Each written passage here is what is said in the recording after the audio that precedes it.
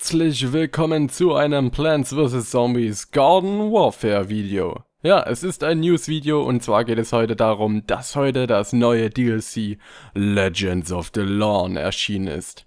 Ja, ein kostenloses DLC für alle Plattformen und ja, es ist ein relativ dickes DLC, könnte man so sagen.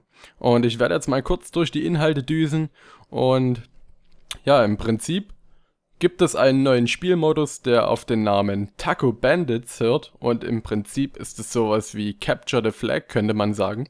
Und zwar gibt es einen Taco auf der Map, den die ja Pflanzen versuchen müssen zu beschützen und die Zombies müssen diesen versuchen in den ja in so ein Zombos Raumschiff zu erobern. Und ja, wenn sie dreimal das äh, geschafft haben, dann haben sie die Runde gewonnen. Und ja, eine relativ interessante äh, neue Variante. Und was ich komisch finde, ist, dass äh, die Zombies immer nur die Angreifer sind und die äh, Plants immer die Verteidiger. Das ist ja eigentlich jetzt immer so bis jetzt gewesen, dass die äh, Pflanzen verteidigen müssen. Das hätte man eigentlich mal tauschen können oder so. Hätte man sich eigentlich mal was einfallen lassen können. Aber trotzdem ist es eine, ja, ein netter Modus und ja, natürlich gibt es auch noch viel mehr. Unter anderem gibt es um die 200 neue Anpassungsmöglichkeiten, die man mit den neuen Boostern freischalten kann. Und ja, aber das Wichtige ist, es gibt neue Charakter, Charaktervarianten. Zum einen gibt es den Centurion, das ist der Zombie-Soldat. Dann gibt es den Sanitation Expert, das ist der neue Ingenieur.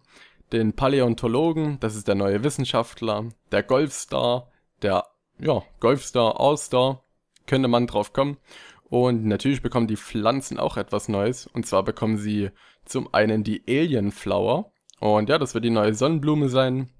Dann Chomp Thing, der neue Schnapper und der Jade-Kaktus. Ja, der neue Kaktus.